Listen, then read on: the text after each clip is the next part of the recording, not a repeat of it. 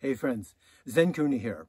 So we're going to do a little video today for you about a favorite pair of sandals that I have. Through the years, I have always been on the lookout for the minimalist shoe that I can wear. I've always tended towards moccasins and sandals and that sort of thing. And as you know, I really like the Vivobarefoot uh, shoes, but today's uh, discussion is going to be about Xero sandals. Okay, they also have shoes that they make now. I've been using their sandals for a long time, and I want to review this one called the Z Trail. Okay, so Z, right?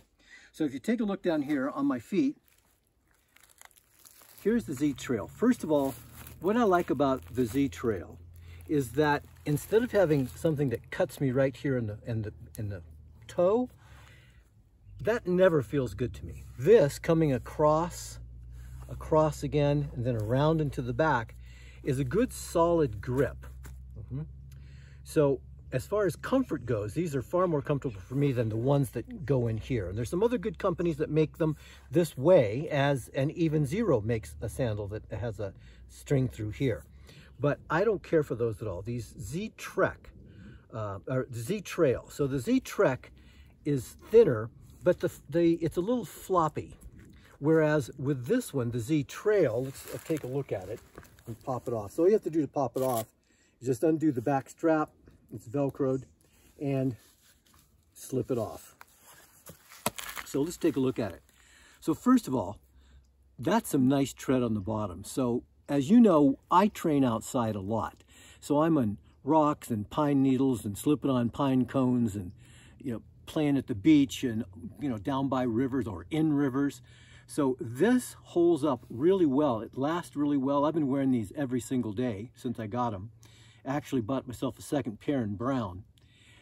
And you can see they're just a little bit thicker than the Z uh, Trek. If you look on uh, the website, which I'll put that information in the description below, you can see that they're a little bit thicker. But what's interesting is they're actually just a little bit lighter. And of course, like all of the Xero sandals, they are, or shoes too, they're all incredibly flexible. So if you're looking for support, please don't get a minimalist shoe. I hate people that, you know, say, oh, I got a minimalist shoe, but it didn't have any support. That's the whole idea. You're supposed to provide the support for your body, not have all sorts of arches and special lifts and presses and holes and so on and so forth.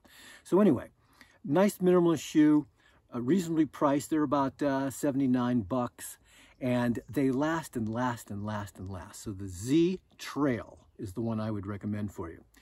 So I want to show you also about uh, adjusting. So let's go back to putting it on the foot. So again, slides in from the back and then slip your back strap around the heel. And I usually make my adjustment here in the back with my foot down on the ground with some pressure. So I've got a sense of what's what, and there's your connection. Now, let's assume that you want it tighter. You can start here by pulling the strap this way. So just shorten it up that way, and then from here, pull it again, and then final here, and then tighten in the back. So you can make plenty of adjustments to these and they stay on your foot very well. And I'll give you a, a, a way to see that. Let's see, I'm gonna go over in this rock, Marga, so if you just get back up. So here's rock, and you can see as, as I step that there's no problem with grip. I mean, I'm solid with this, all right? And then of course, there's always the question about when you go down the rock or down the mountain, right? So going down, it's no problem. My foot's not sliding very much forward at all. And it's just, it feels very secure. And so if you're going sidestepping, it's fine. If I'm walking up the hill backwards, which I like to do, it's fine.